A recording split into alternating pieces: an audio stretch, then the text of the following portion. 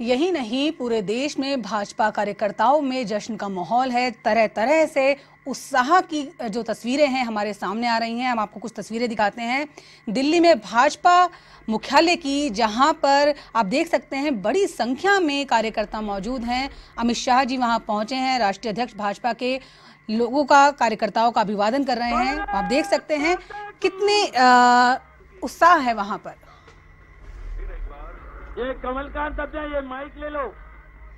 Kamalkant.